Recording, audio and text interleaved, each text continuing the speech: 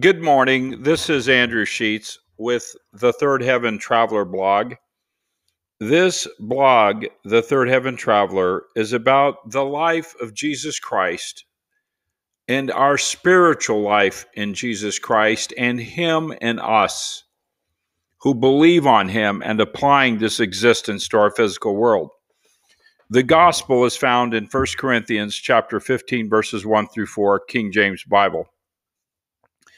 Dear Lord, I give this blog and this video to you for your glory. I pray eyes can be open. Even so, come, Lord Jesus. Until that day, sustain us by your grace. Amen. Maranatha. Israel recognizes that their turmoil ultimately points to the Messiah. Wake up call come soon.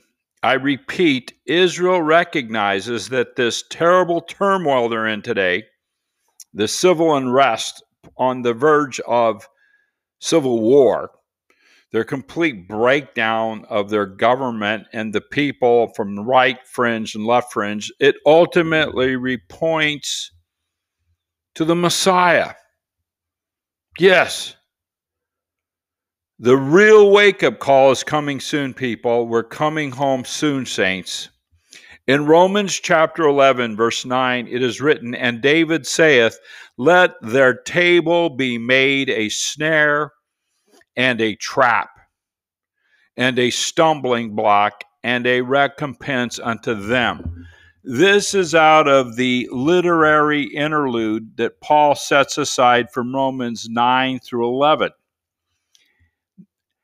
not popular with 90% of feeble minded, non Bible reading, low informed evangelicals who think that the gospel is part of Romans 10 and they're constantly repeating Romans 10 9 and 10 about thou shalt confess with thy mouth Lord Jesus for to be saved. It's part of the remnant of Jews who will come out of the tribulation, which will only be a third. Read my studies, wake up, people. But but in this, Paul is addressing who? Israel. Who is Israel? The remnant. And he's talking about they stumbled and why that the Lord hasn't forgotten them that they'll be coming out of this. This is all we're seeing this now. And Paul writes in First Corinthians chapter 1 verse 23, but we preach Christ crucified unto the Jews a stumbling block. I repeat, unto the Jews a stumbling block, and that's what's happening now, and unto the Greeks foolishness. Now the Greeks represent the non Jewish Gentile nations of the academia of the world, most of the world, the mighty and noble, they have nothing to do with the silly, silly, silly stuff of the Bible. But we're focused right now on Israel. This is a very telltale sign of the sign we see it. Now, this civil unrest going on right now, I was almost dropped my coffee this morning reading an article from Israel Today News this must be shared.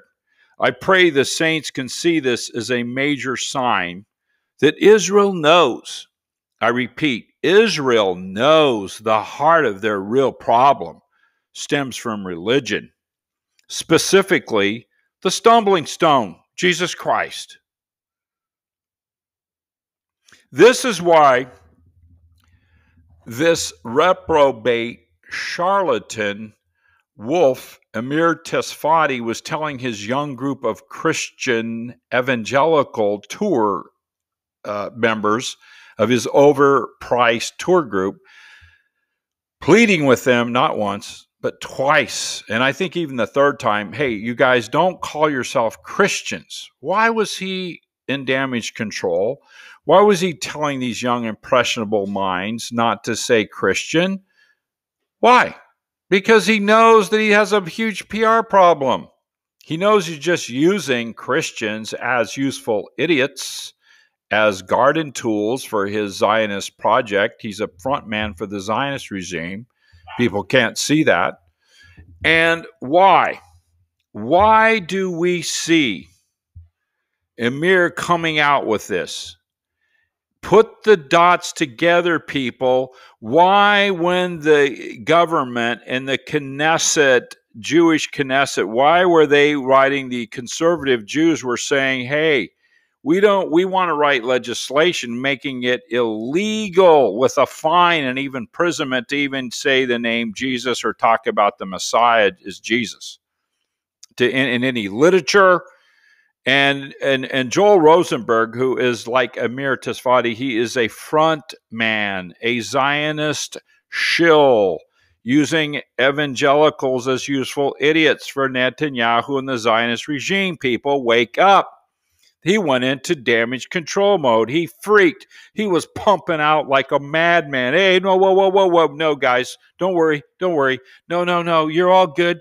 Christians, come here, group hug Israel loves you. They accept you. No, they don't, you morons. They accept your political backing with Washington to use Washington as boots on the ground for their Zionist agenda. Not going into that in depth, you can read all my links with the Amir Tsarfati links. But people, there's a problem in Israel right now. It's about Jesus Christ, it's the Messiah. Uh, read my links below exposing Amir Tsarfati and Joel Rosenberg in the links.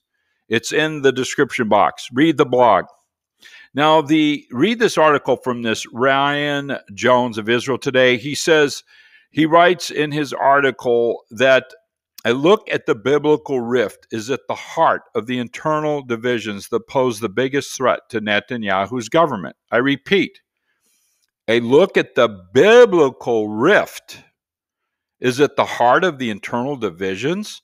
And he says this poses the biggest risk. And he says messianic minded Jews like this Ben Gvir find little love among Israel's rabbinic establishment. Now, I'm not going to read this whole article to you, but basically, we've got the ultra Orthodox standing on one side on mainstream Judaism, saying, hey, the messianic kingdom is not going to come in until God brings it. They're right on. They cuz why? They're reading scripture. But these religious Zionists like these low informed, feeble minded evangelicals like Joe Rosenberg and the Samir Tsarfati, this, they're saying that the religious Zionists, often referred to in media as messianic, are what? Going to what? Help usher in help usher in the messianic kingdom. And this is that kingdom building. This is this Zionism. This is kingdom dominion theology and Christian nationalism.